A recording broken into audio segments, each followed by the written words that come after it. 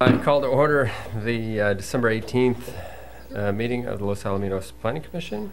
Uh, Can I have a roll call, please? Chair Riley, Here? Vice Chair Sofocanic, Here. Commissioner Andrade, absent, Commissioner Quilty, absent, Commissioner DeBolt, absent, Commissioner Gross, Here. Commissioner Lowe. Here. All right, uh, please stand and join me in the Pledge of Allegiance.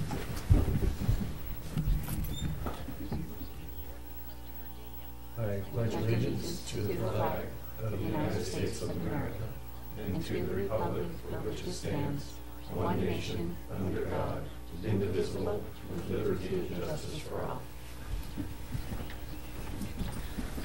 All right. Uh, Agenda item four, presentation. It looks like we have a a presentation of fiscal sustainability. Staff report? Uh, Yes, Or- uh, Presentation. Chair, Commission members, uh, as you may be aware, the city has uh, been in the process for the past several months of addressing what we've termed fiscal sustainability. And uh, really, it's a matter of looking at uh, projections going forward with regards to revenues versus expenditures. And what we have found is we, our expenditures are ever increasing, uh, and our revenues are not keeping up with that. As a result of our findings and our projections, uh, about uh, a few months back, we decided to uh, conduct a public outreach uh, to really just educate and inform the public as to what's happening, why we're facing this situation going forward, and that resulted in a number of community meetings. So to date, we have conducted uh, about eight community meetings, I believe. Eight, Yes, we had five scheduled community meetings where uh, three of those were in community parks, two were in, in buildings at different times uh, and different days. Uh, We have probably seen uh, approximately 400 or so participate in the various community events or meetings that we've conducted to date. Uh, We also felt uh, that in addition to the community outreach, uh, two other things that we wanted to do. We wanted to reach out and, and address all of the city staff and receive their input, which we've done, and then also reach out to all the board and commission members.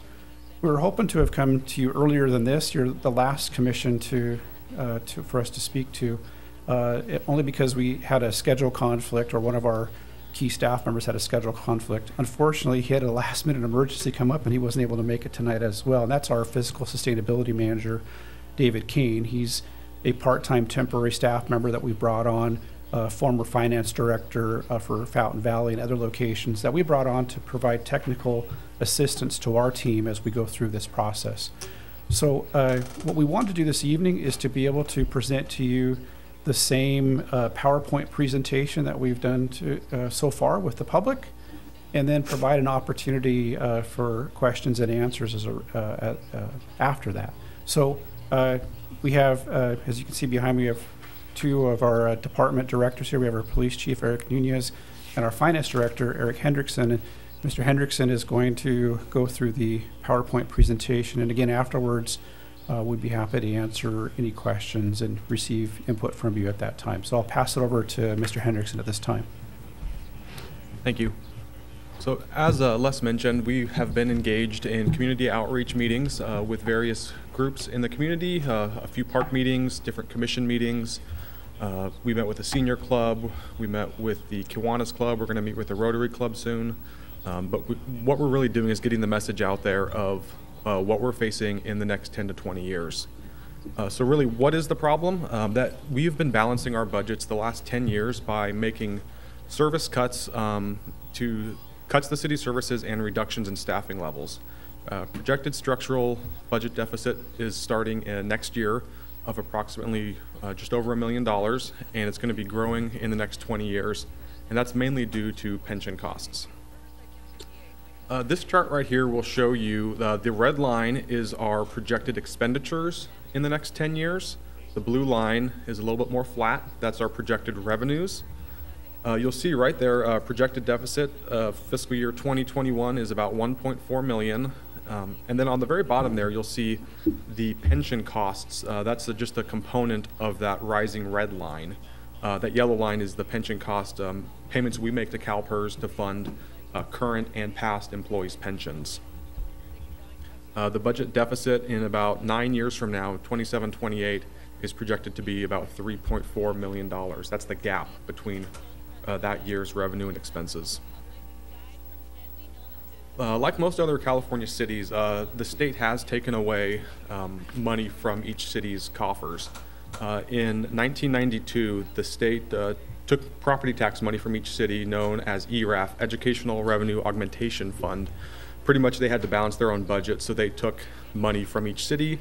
Um, since then, it has accumulated to about $12 million that's been taken. That's money that we would have gotten if it wasn't for that act. Um, since then, they have taken that from us, and it continues to be about a $700,000 per year hit to our budget. Um, all of these conditions will result in a depleting general fund cash position in about five years. Uh, this next slide, uh, we wanted to show, um, this is a projection of our reserves.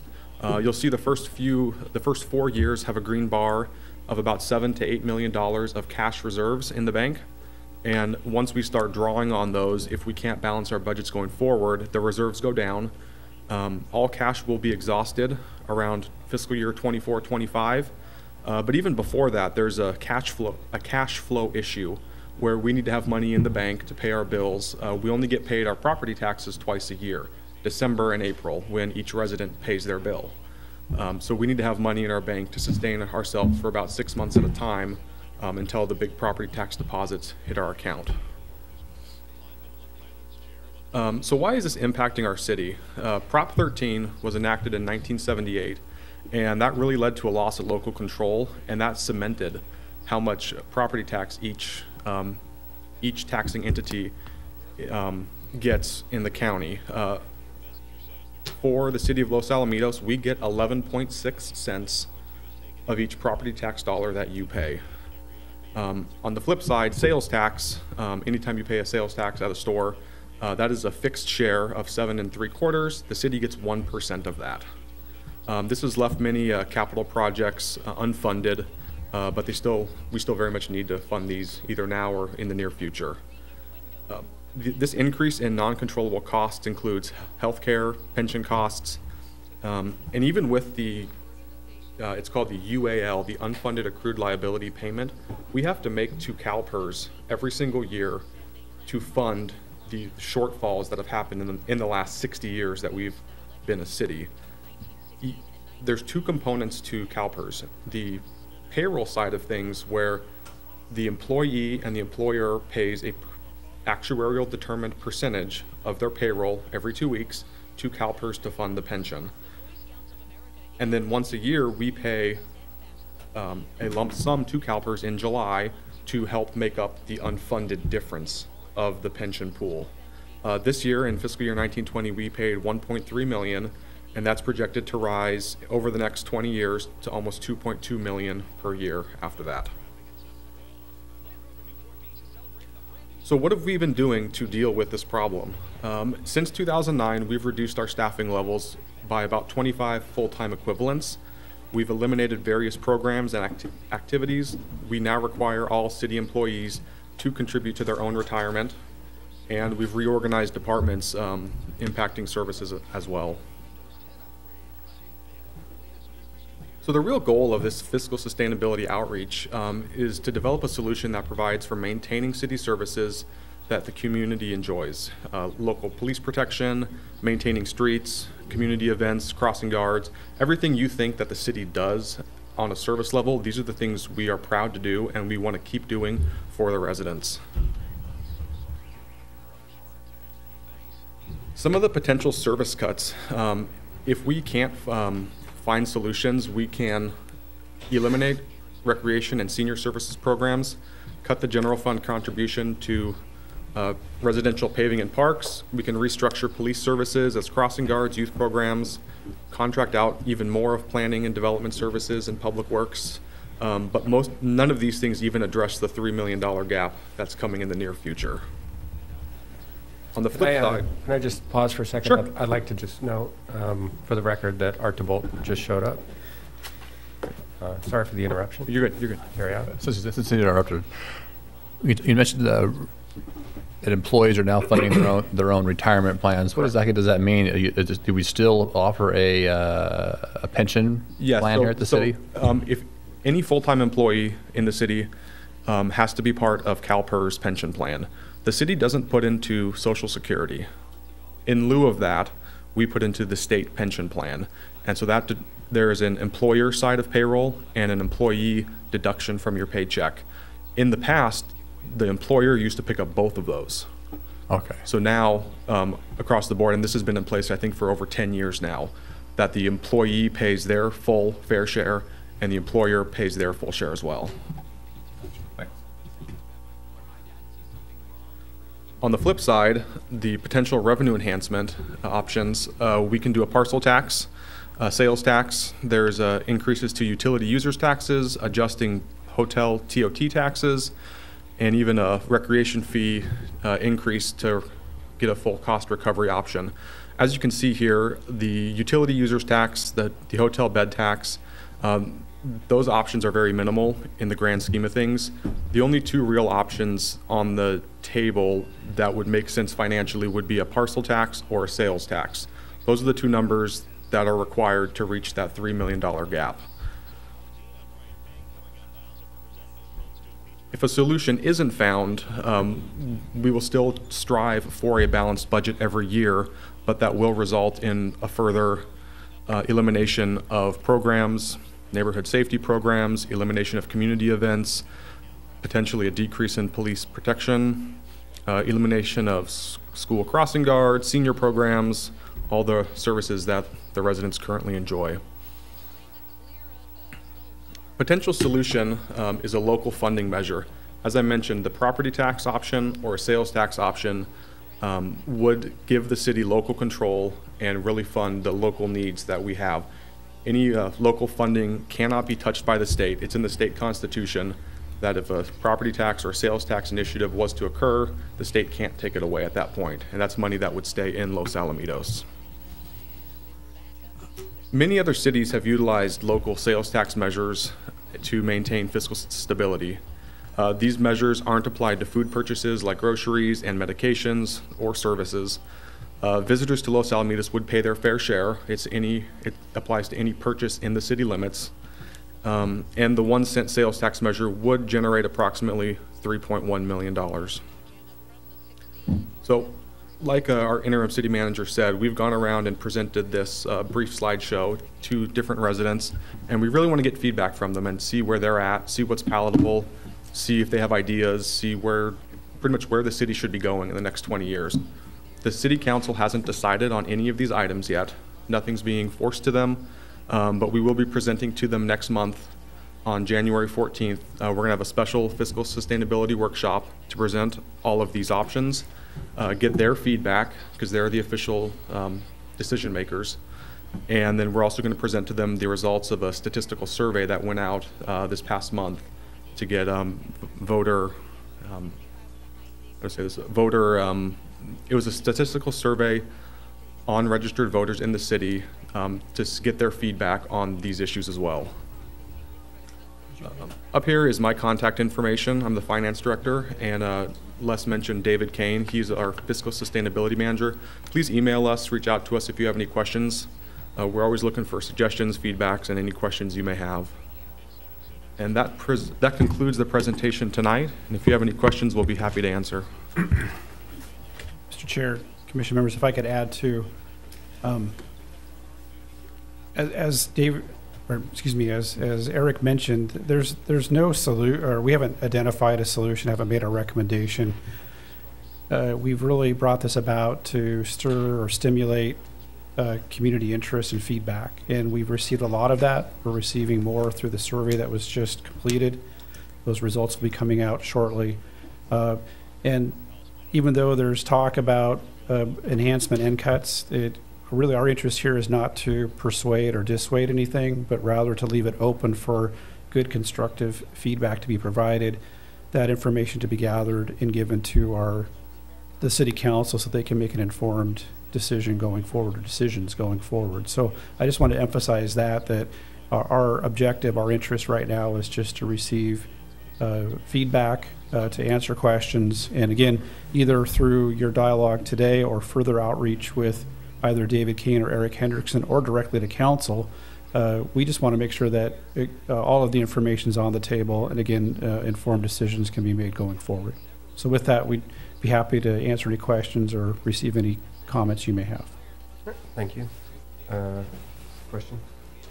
Yeah, you mentioned a survey that went out when? It, it was during the, uh, during the month of uh, November, and it was a statistical survey. 300 registered voters were contacted uh, in the community, so it wasn't an out, a a survey for everybody. They were uh, identified based on uh, uh, participating in, I think, the last two elections. Uh, It was a combination of phone surveys as well as uh, electronic distribution as well uh, for surveys to be done online. So there were 300 people randomly selected throughout the community based on registered voters that have participated in the last two elections. I have a question. Um, Did I understand you correctly in that um, we're making what amount to catch-up payments on pension liabilities over the past 60 years? It sounded like they Yeah, weren't so- appropriately funded, or? Yeah, so when the city's been in, in existence for about 60 years now, and since then, the, they've been a part of CalPERS, promising pensions to um, the employees and eventually when they retire, these lifetime payments. Um, with the actuarial, um, the actuarial, the actuaries determine how pensions are funded through future investment gains. And so when the stock market crashes, when the stock market booms, uh, when life expectancy fluctuates, uh, when employee count jumps, when employee count drops, all of these things affect um, the pension pool and the, its funding status. So at the end of the day, the actuaries at CalPERS determine how much the city is either overfunded or underfunded to pay out these promised benefits to its retirees. And, and it sounds like we're currently underfunded, and we're Yes, trying to... and, and that's about to the tune of eighteen and a half million dollars, underfunded. Okay. And, and if I could add to that, that's not a Los Alamitos specific matter. That's a statewide matter. So that's, Well, I, I, it's a huge, unfunded pension liabilities are huge, like, everywhere. I mean, it's a big problem, so I'm aware of that. I was just, And that had to do with PERS projections, right? Correct. That Yep. were basically unrealistic. Yeah, I mean, they, they just dropped their um, expected investment return recently from seven and a half to seven. Um, So some years, you know, they make ten percent, some years they make six percent. So every year, just determine, just based on the market, what they invest in is, I knew those things, I, I'd be in good shape, but I don't, So what type, what type of accountability do, does anybody have with, with CalPERS, you know, for those type of miscalculations? I mean, I understand that it's, it's difficult to, you know, predict certain things, but, Yeah. I mean, that's their job. Yeah. I mean, now, it And, really and I also know that there are other organizations that, you know, that properly fund their pensions and, and Correct. manage that stuff um, a lot better than, than local and state municipalities um, seem to do. Yeah, correct. I mean, there's, uh, CalPERS has a board of governors. Um, I think it's like an 18-person board that determines the policies they make, um, what they invest in. Uh, Sometimes they get handcuffed on, you know, being a socially responsible investor versus going for the best return, um, where they put their money, um, what the projections are, where they think the future stock market's going. Do they invest more in stocks and bond, stocks versus bonds, government treasuries, foreign markets? I mean, all, all these things factor into the decisions they make. But at the end of the day, they're telling us we, they want to average about seven percent on their investment pool. So when it doesn't come in at that seven percent, an unfunded liability presents itself. Because these benefits have to be paid out to the retirees, but the, but the funding just isn't there for it if the stock market doesn't return. Or even if like the. That's uh, probably not, not necessarily the stock market, it's probably more so uh, fixed incomes. and s- Oh, yeah, I mean, if if, if all the retirees live ten years longer than the mortality tables that they're projecting off of, more unfunded liability exists then. So there's, there's a lot of different factors that go into this. Okay. Any other questions? Comments? Just comments? I mean, it's like beating a dead horse, but I mean, I, I remember sitting up here in this seat in 19, nine, from 1998 to 2002 with no experience in, I'm self-employed, always been self-employed, no experience with pension funds. Okay, but I can remember distinctly the financial, uh, our, uh, Gerard Goodhart, who ran the, uh, the money side, but the finance, uh, head of finance here, coming in, and this is when the, we were changing the retirement, the years going from, I don't know, going up to 55 and getting uh, They, they increased. two or two and a half, three percent or something like, you know, Yeah. and I'm not quite, I'm under, get- and of course, then they show the projections from PERS at the time, which were like uh, nine, 10, 10% projections Mhm. when, and I'm going, you know, and, and the market, we were, it was steaming along Yeah. at that time, and I said, doesn't that seem to be kind of high? I mean, wouldn't you be projecting at that time in the five and maybe six percent rates? I mean, looking, looking at what you can get in the bank in, in T-bills and stuff like that, which were, and, and you're projecting higher than that, which you should really probably be in more the, you know, that, that type of a range. Oh, no, no, it's just gonna go on and on. And the council bought it, listened to them, including me. I mean, I will, I mean, but I'm relying at that point upon seasoned council members who had been here and staff members who had been here. No offense to the staff that's here, by the way. Uh, but, but I mean, you know, unfortunately, common sense didn't prevail, and it still doesn't prevail. I mean, they're losing money if they lower their projections right now. I mean, what do you get in the bank? A point? Mhm. if you're lucky, maybe two. And, uh, you know, uh, you're still using projections at seven percent, so what's the solution? You gotta vote them out. I mean, you know, we're, I don't know, I mean, so that's, that's it. I guess the- my comment or question, did you look at, uh, contract, contracting out services? Uh, I know we have, uh, changes coming up and this type of a thing, but going, going out contract services, we con, for example, we contract out for our, uh, building official, or building inspectors are contracted out. You know, we have staff, uh, that, the attorney is not an employee, he's a contract employee. Okay, we have less, not to pick on you too much, but, uh, you know, should, should these positions that we be looking at, should they be contracted out?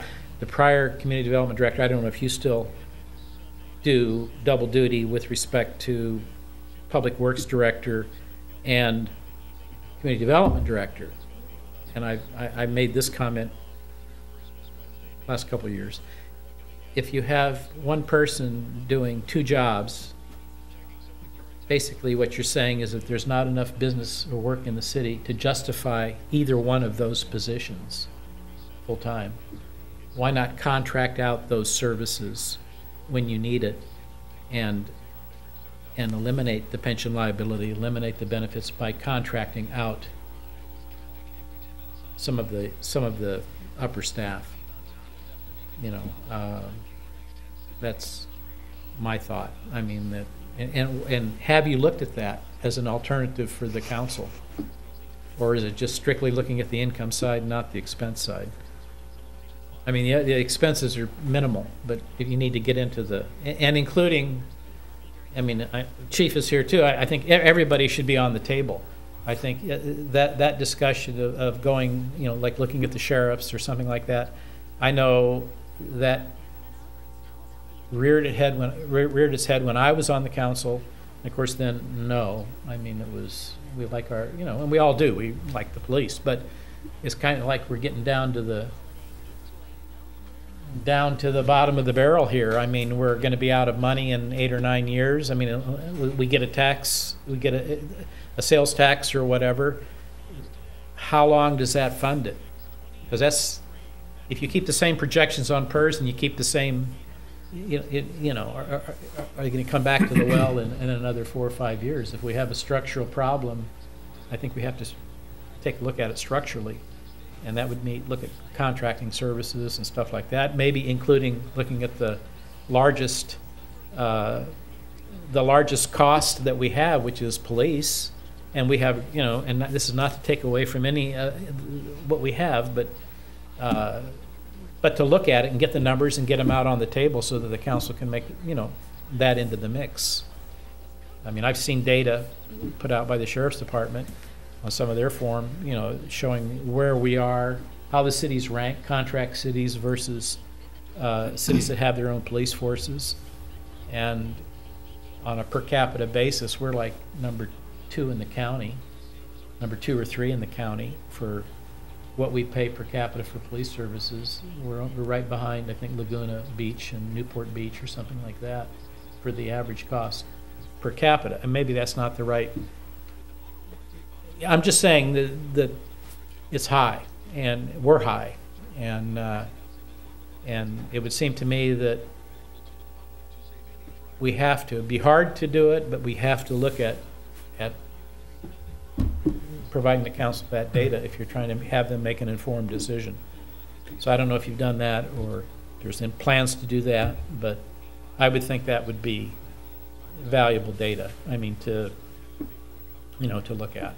It- Uh, We have uh, the Budget Standing Committee, the Council Budget Standing Committee, uh, a few months back directed staff to look at a multitude of options. And uh, we provided information to them. There were, I believe, 21 options, most of those options being uh, staff reduction, service reduction related. Some of those were revenue enhancement, but most of them were service reduction related. And that included, you know, Public Works, uh, Development Services. Uh, The police aspect of it was an estimate, because in order for us to get a cost estimate from the sheriff's office, they charge for that, and it's in the tens of thousands of dollars to give us a cost estimate. So we have not gone forward with that with, because that has not been directed yet by council to go to that direction. Um, I will say, though, that based on the preliminary work that staff did, if you do a per capita or, or per officer and officer hour comparison to what we have today, our conclusion was it was not a, a, a much of a savings at all to the city. Um, Meaning that if the sheriff's office provided the same patrol, uh, uh, patrol hours, if you will, or patrol uh, officers per capita that we currently offer, it would not be uh, much of a savings at all. Um, So again, that's not having an official formal uh, proposal from them, but it is based on uh, valuable information that we receive from other agencies, uh, departments, and looking at that information uh, and putting it, uh, you know, something together for uh, the council budget standing committee to consider. So we have looked at a lot of those options. There, first to say, there, there is budget uh, or cost savings associated with a lot of those, but there's also, um, you know, potential uh, reduction in service and, uh, not potential, the high probability of reduction in service. And that's the big question as to, is there a willingness and desire to see those service reductions uh, in order to see a revenue reduc, you know, to see a, a, a savings, I should say, a, a budget savings, or what option? I think it's probably, at the end of the day, a hybrid of some reductions and some revenue enhancement that's going to have to occur to make it work. Um, and I just, really quick to your comment with regards to, will we have to come back and, and will there be a, a need to maybe look at additional revenue uh, enhancement later on? I certainly hope not, but we all know that it's, it's unforeseen as to what will transpire going forward. Uh, we have to do our best uh, in our estimations, and we've taken a very conservative position in the, in the numbers that we've presented to you. Uh, For example, with sales tax, we, we took a, a very conservative estimate going forward. Uh, We could see sales tax increase quite a bit going forward, or we could see it drop down. So we figured better to take a lower uh, estimate on that, uh, and have tried to also be realistic in, in our projections for, you know, our cost estimates for uh, just budget, you know, and, and and our uh, expenditures here as well. So it is, it is a tough decision going forward. It's a, it's tough to estimate. Uh, But again, I think we took a conservative position. We did provide a lot of information to the council budget standing committee that was then subsequently provided to all of the council members for their consideration. And we anticipate that that will be further reviewed and considered during the budget uh, or excuse me, during the fiscal sustainability workshop on uh, January 14th. So I was curious, curious one is top three revenues and top three expenses in the city, what, what those would be. And I also wanted to get Eric's thoughts on this, is that a pensioned city employee versus a contracted employee?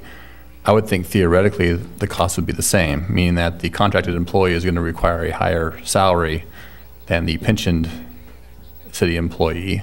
Maybe, maybe not, I don't know. But I was wondering if, what your, what your thoughts on that were. For example, the, for an employee who makes, you know, or for the pension on an employee, for a classic employee, let's say a, a classic police officer who's been here for 10 years, um, they, the city pays a- approximately an additional 20%. That's the employer side of the pension formula. So Okay. if the officer makes 70,000 a year, for example, the, the city will pay, pay an additional 14,000 towards the pension, and the officer will pay approximately 9% of that $70,000 uh, towards the, his side of the pension as well. Okay. Um, If we contracted out every single employee, there's still that unfunded annual payment required by CalPERS. So even if tomorrow, all the employees left, and we didn't hire anybody else, CalPERS would still be, still has the right to come get their one and a half million from us, and that increases every year. This year was about one point two, I should say. Next year, I think it's about one point four, and every year that increases um, as an annual payment to PERS, regardless of the number of employees we have. Um, Does, does- does that answer your question? Kind of, I mean, yeah. Well, at what So- point does that, does that change? Well- Right? I mean, because I, I saw that, you know, we've reduced our staff over the last X number of years, right, by a pretty significant headcount, 25 people. I think that's pretty dramatic for a small city like this. And so those are pensions that we're not having to fund. So at some point, just atrophy, people pass away. There is a know. drop off, yes. Um, in, in about 18 to 20 years, um, CalPERS, CalPERS is requiring these annual payments. And again, with their projection, in about 18 to 20 years, that will start to drop down. Um, but again, with the projection that long and far out, who's to say if that's really going to come to fruition or not? But they're, again, with their projections, it's about 18 to 20 years, and that annual payment starts to go away. And that's just to fund our employees? All, all of the Or- current and past people, anybody that's been in the pool over the last 60 years. Wow. Well, let me just give you, and, and- and again, these are without, just looking at the numbers that I've seen out there, and I'll I'll just, I'm gonna pick on police, I'm gonna pick on the, the sheriffs and that type of a thing, and keeping in mind, I- I'm not gonna say it's unsupported data, but it's, it's an unknown until, unless the city were to do a a diligent look at it. But in comparing the, the per capita cost, the savings would be about $3 million a year to the city. If you use the sheriff's data with the average, the average contract city cost versus what we're paying right now. If we just, but that's not looking at quality of the services, it's not looking at all of that stuff, if you're just taking the data. The difference would be the three, a little over $3 million. So if you couple the 3 million, if you could, if you could generate a $3 million savings that way, and that's on the backs of the police, I'm not saying to do that, but that, because I think, I firmly th- believe that if you go contract in some areas, you can, you can save significant money. Uh, And if you did have a sales tax, you've got a $6 million swing. I mean, right there, that, if you have an $18 million liability, and almost in theory, you could, you could, you could solve it in three or four years or five years. I know that's not gonna happen, but I mean, that's just using raw numbers. I've done a little digging, uh, the smallest, we're the second smallest city in the county. The smallest city in the county, I think is Villa Park. And they are one hun, they are one hundred percent, well, they're, they're a con, basically a contract city for all services. I think they have three employees. Three employees that are full-time, uh, I think, paying into PERS and that type of, I think, I'm, I- looked at this a, a month or two ago, so my, but they ha, and then how they're set up. I mean, it's almost like, that's the type of data that needs to be looked at seriously, because obviously the city can't keep going the way it's going. And it's like you're kicking the can down the road. If nothing changes and you add a one cent sales tax, okay, that kicks the can down the road for seven or eight, nine more years maybe, whatever. And who knows? Uh, I know in doing a little digging around, uh, there were, I think, recently there, there was a, thr- a $300,000 study done 300 fund, and it was done this year, $300,000 study done by 15 cities. I think they were contract cities with the sheriff's department to determine, uh, going into the future, is this viable or should, you know, is, i- is it working or whatever? And that report came out in March of this year. Did you see that?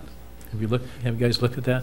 I don't, I I mean, and, and and th- there's data there. I'm just saying, trying to get the data to every, you get, get all the data you can so you can make the informed decision. I'm not saying to do it, I'm just saying you've got to have the information, or everybody's just speculating uh, about what it might be. If it costs ten thousand dollars for a, for a study that could save you two million, that's, that's cheap. And, and it might say no. It might, when it's all said and done, it says, no, you're not, you're not going to get the savings you thought you were going to get. Well, that's great. That takes that off the table, and you got to find a different way to do it. I mean, but it's, otherwise, you just, I'm just, you guys are the consultants, you're providing this information to the council. To me, it would, it would seem to me you'd, you'd give them enough information and places to go to try to, to do a real deep dive into, into the, onto the expense side. Because the easy part is to do a sales tax. The easy part is to try to raise a revenue, but if it doesn't come in, then what? I mean, uh, I don't know, I, I'm just, you look at what people make and, you know, when I was on the city council, I know we got, we, we, we had a budget problem and we started look, I, I was astonished, that the, the lowest paid employee secretary in here, this was in in ninety-eight, started at about thirty-five thousand a year, thirty-five or forty thousand a year. I don't know what it is now. The, the lowest paid position, it just blew me away. Uh, And, because I know what we were paying secretaries and, at that time, low, you know, entry level, you know, ten, eight or nine dollars an hour, stuff like that. So I don't, I don't know, I mean, it's just, if you can contract out, it, it, you might pay the same salary, but you forego the pension and you forego the, the benefits, the medical and stuff like that. The that. long-term liabilities. Yeah, it's a long, t- yeah, it's a long term. So that's just my comment. I mean, not- not to, Mr. Chair, Chairman, Right. if I may comment, um, I I- I know that the one study you were talking about per capita, uh, that uh, the Commissioner DeBolt was talking about, and that came out in the paper in Orange County Register, and, and it's a way of looking at it, the cost, right? Um, If you look at it uh, per officer, per deputy, uh, the top-end deputy in Orange County Sheriff's Department makes more than a sergeant does at at Los Alamitos. And that's the fully bo, the fully benefited uh, off, uh, deputy versus a fully benefited sergeant at top end. Part of the reason why is because OCERS is no cheaper than PERS is in terms of retirement system. You've all read about that. You've seen that, you know, with uh, OCERS through the Sheriff's Department and even Orange County Fire Authority. Uh, Those costs are, are, are significant um, for retirement systems. Um, so when you look at it that way, and if you look at it, if you look at it not just per capita, but if you were to get like service, there is, it's impossible for that service to be cheaper than what you have it now. It, what you're paying your officers in your police department here. Uh, one of the, I think it was Chairman Lowe was, at, or, uh, um, Commissioner Lowe was asking, you know, what's the biggest expense? Well, the police department's probably about forty-four percent of our, you know, revenue of our operating budget. And, uh, and, it- and 78 to 82% of that is just personnel because it's just a service. We don't make widgets. We provide police protection 24/7. Um, So when you look at those, those things, if you're not comparing apples to apples, yeah, it's a difference. So if you, if, and we have tried to compare apples to apples with the sheriff's department. We've looked at Stanton's contract, we've looked at um, Villa Park, we've looked at um, Dana Point, and, and, um, and have tried to get some numbers, but it's, it's, it's not easy, because as the city manager indicated, they don't want to be the hammer for negotiations for labor contracts. The sheriff does not want to be. If you seriously want them to look at something, you're going to have to pay them to do the study that they need to do, because one of the things they need to do is find out what kind of service level they're going to provide you in the first place. If you want the same service level as Rossmoor, you're not going to get dedicated deputies coming into there. You're going to get people that are, that are going to respond from, you know, Santa Ana, eh, where their deputies do. They come and they do make routine uh, patrols in that area, but they're, that's where they're housed at. There is no substation for them necessarily to operate directly from, into that community. So there are a number of times when they have significant response time issues, so they'll call us. And we have a um, uh, mutual aid compact with the sheriff's department, and they'll allow us, or not allow us, they'll ask us uh, to respond to a priority one call, and they're en route because they have a delayed response. And so we'll get there and we'll hold down the fort until they get there. Um, So uh, where here, we have a response time of about two minutes and 46 seconds to priority one calls. So we, there is a different level in service. So if you're going to compare those things, I think Commissioner DeBold is correct.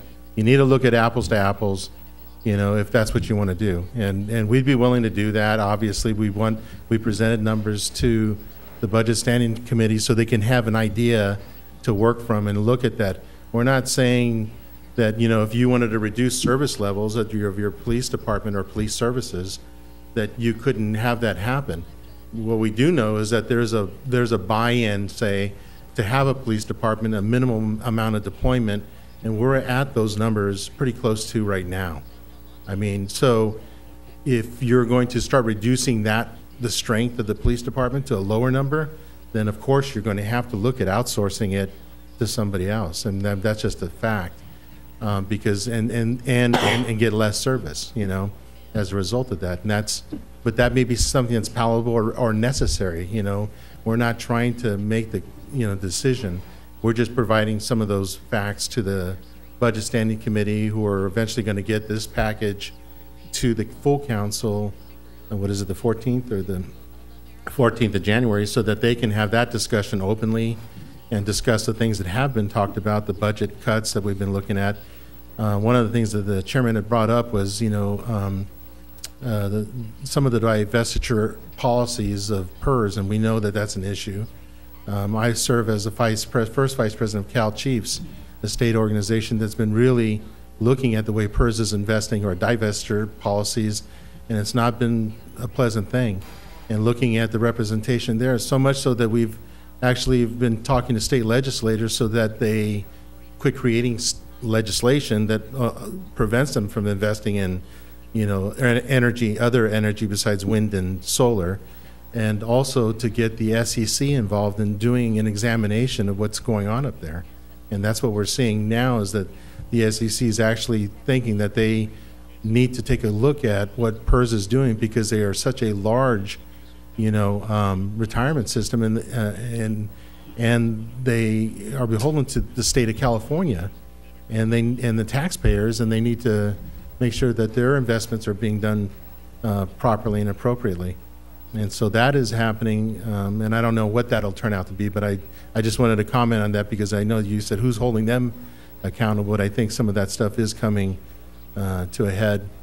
Um, But uh, I, um, I know that, uh, that there are a number of issues that we brought up, and, and when we take away certain things about the, your own police department, there's things that if they want to live, if they want to actually house the deputies in our building where we're at, there are a lot of upgrades that are going to have to happen because they're not going to come in into uh, an inferior building. They just won't do that. They had to do the same thing at Yorba Linda when they took over, and it cost a lot of money. All the cars cost money, so there's some upfront costs that has to, for transition of those things that are part of the apples to apples comparison.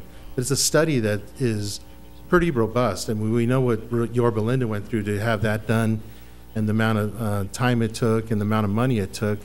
Um, So, uh, yeah, long-term, maybe it is worth that money if you were to go that route, but it is something that has to, you know, um, that really, you know, we've taken a, a pretty good look at, have provided whatever numbers that we are able to provide uh, to the Budget Standing Committee that are pretty sound, but if you really do compare those two things, uh, a deputy to officer, like I said, a deputy, a top step deputy in the sheriff's department is making more than a uh, top step sergeant is at our police department, and every rank above that, it keeps, it continues to grow. All right, Thank you. Thanks. Does anybody else uh, have any questions or comments? All right, well, definitely a uh, big discussion. Don't want to be in Unfortunately, I don't think it's one that's uh, isolated to just our city. It's happening all over the place, and and uh, and I think pension liabilities and not. Uh, I don't want to sound like I'm not in favor of pensions. Uh, I, I'm in, I'm not in favor of pensions that aren't appropriately funded, and there's. I think there's a, a big issue with elected officials that make you know these decisions on pensions and what they're going to pay out and, and they don't have the follow through. They kind of kick the can and pass it on to future generations, and they don't make sure that those um, obligations are appropriately planned for and funded. And you know, it's it's catching up to a lot of us right now. You know, everywhere. So, big discussion. All right. Anybody else? All right. Thank you very much. Thank you.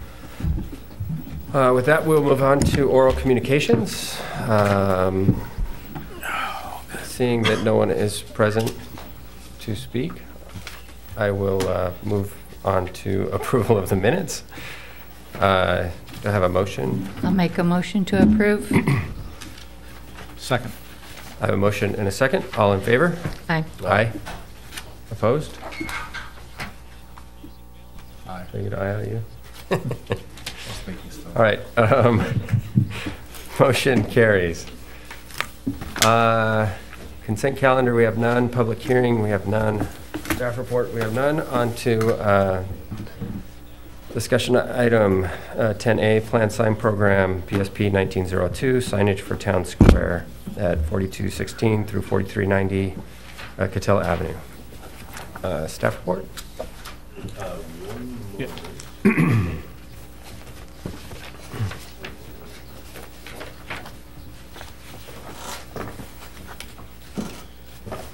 Okay, Uh, Chair Riley and members of the Planning Commission, uh, Plan Sign Program 1902 is the consideration of uh, the town square um, signs, which are, uh, Town Square is the one that has uh, 7-Eleven, Coconut Rabbit, things like that in it. Uh, And uh, it's, uh, the shopping center's at 4216 to 4390 even numbers on Katella.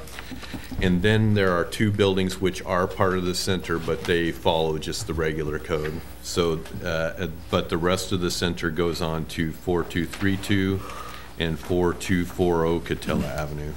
Uh, They're located in the commercial office zone, uh, commercial professional office zoning district.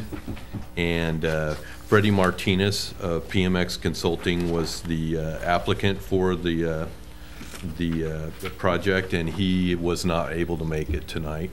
Uh, However, it's not a, a public hearing where he would want to speak or anything like that, he said. So uh, the applicant requests the commission approval of a plan sign program that has two monument signs, uh, uh, one wall sign and, uh, per tenant bay section, and one wall sign per uh, end cap tenant, um, so on the sides of the buildings. And uh, let's see, okay, the shopping center will require more than, um, will require more than five signs, so therefore, that's why they're doing the plan sign program. Uh, The plan sign program uh, was originally approved, there was one approved in 1984, it's aged, so they want to do a new type of signage, which you can see on the, the front of the building there. It's black and white. Uh, It's uh, approximately 48 tenant bays there. So um, there would be about, uh, with the side tenants, about 52 signs that they could possibly have. Uh, Two of the signs at the entrance, let's bring up the signage here. Those are the, the buildings there that are part of this. A, B, and C, which is uh, the main section, and then uh, D is the section on the other side of Orange County Mattress. It has Subway and, and places like that. Okay, so the, uh, the Subway building has a short um, monument sign, and that is well within code. Um, The uh, larger ones, though, um, they uh, have extra address signage on the bottom, which when you pull up to that, uh, the corner there uh, for a brief moment until you pull out a little bit farther, it's more difficult to see traffic and pedestrians as they're walking up the street. So staff has made a suggestion in condition 12 uh, that um, they place that elsewhere on the signage um, uh, with director's um, opinion on how, um, where to place it um, later on. Uh, And uh, the uh, applicant is fine with that. I've talked with them about that.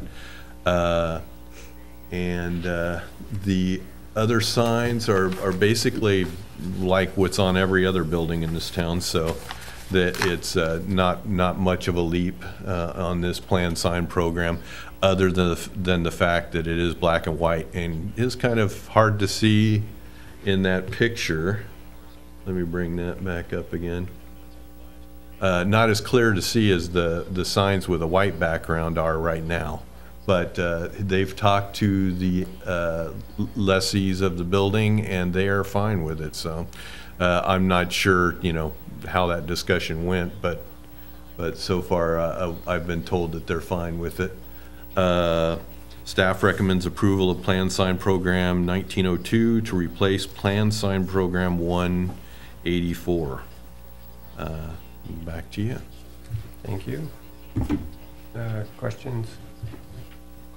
Comments? No? Be nice for that, be a nice change for down there. Yeah, yes. Yeah. Um, All right, so with that, I'll um, open the public hearing, see if anyone would like to come forward and speak on this item. Uh, All right, and we have no one present to come forward and speak on this item, so I'll go ahead and close the public hearing and bring it back to the commission. Uh, We have a uh, I'll any make a discussion Or motion. motion, or, I'll make a motion to approve. Second. I have a motion and a second, all in favor? Aye. Aye. Aye. Opposed? None? Uh, Motion carries. All right, that takes us to item uh, 10B, resolution of intention. Uh, Staff report, please. Yes, um, Chair Riley and members of the Planning Commission. This is a resolution of intention um, that staff brings to you tonight. um, Based on direction, uh, the state has directed cities to allow for accessory dwelling units and uh, family daycare homes uh, in an easier faction, fashion than they have been in the past. And uh, so therefore, we need to come up with new codes in order to uh, meet what the state uh, has directed, um, but still have what little control we do over that. So there, if we don't make a decision in the next few months, we follow what the state has uh, directed for accessory dwelling units and family daycare homes. Um, so we're asking you tonight to uh, uh, allow discussion in the next few meetings, Uh, not necessarily the very next meeting, but when we get that written, um, and uh, that it starts with a resolution of intention. So uh, back to you, Chair Riley. All right, thank you. Um, Questions, comments for staff? so the family daycare is just, it's, it's not the, uh, it's just, for- it's for This is children the children, yes. for day. Yeah. Yeah. Age? Uh, up to, uh, 10, I believe. yeah. Anything else? Do they still fall under state regulations as to how many they can have at one time present and how many bedrooms and everything?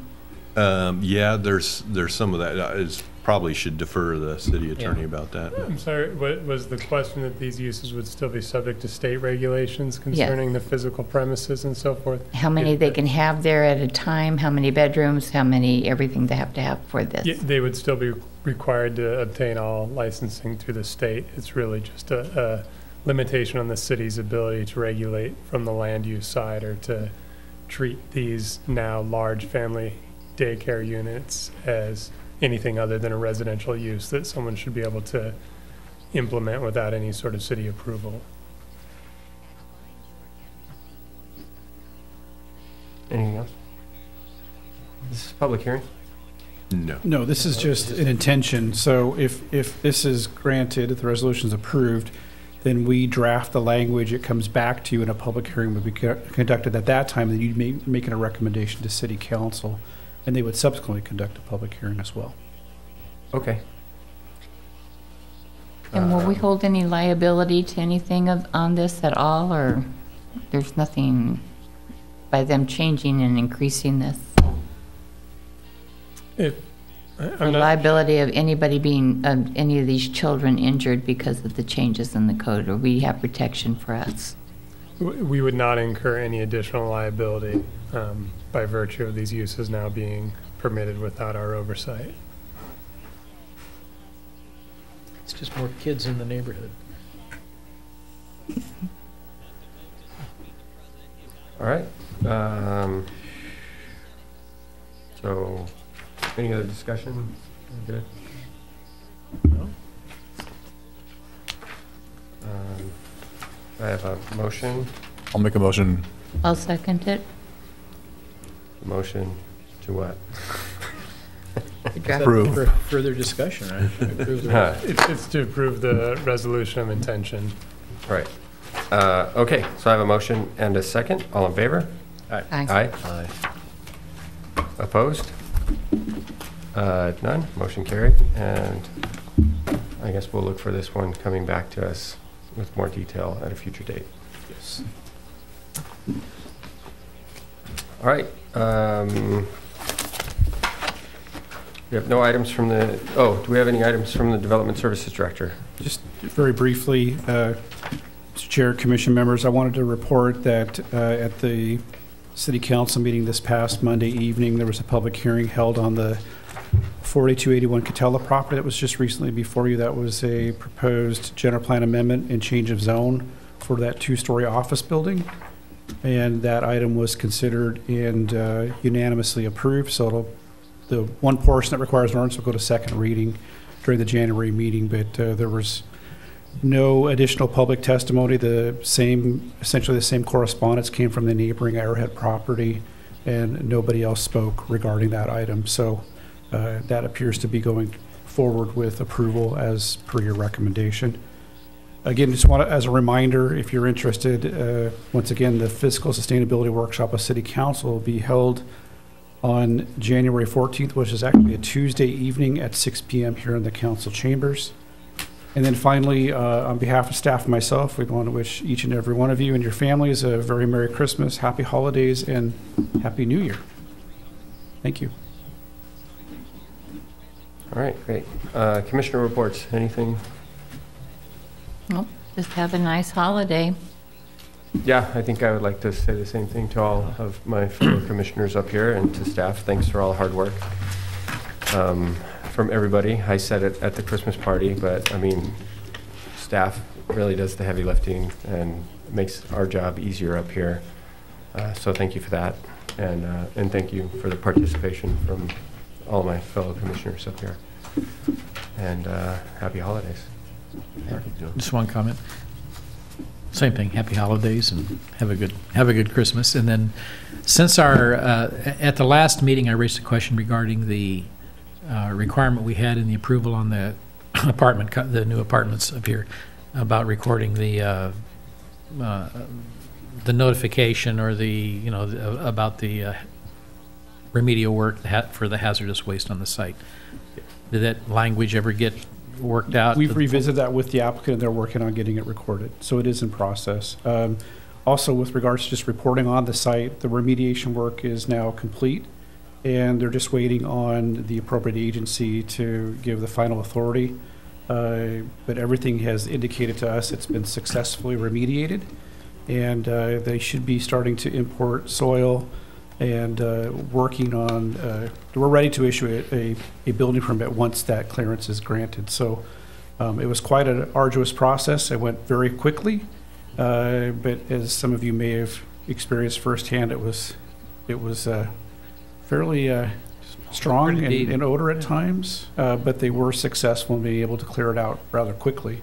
We're thankful for that because I know the adjacent property to the west took much longer than this remediation exercise, but uh, uh, again, they, they should be importing the, uh, the clean uh, dirt here soon. And again, the Water Quality Board has indicated to us that everything is uh, successful. We're just waiting for the final documentation to represent that. And are we going to have, are we going to hold up the permit? Until that Until, until they get the, That's that, correct. that Yeah, we've- condition We've care notified them of that. Okay, good. All right. Anyone else? All right, thank you very much. Meeting adjourned.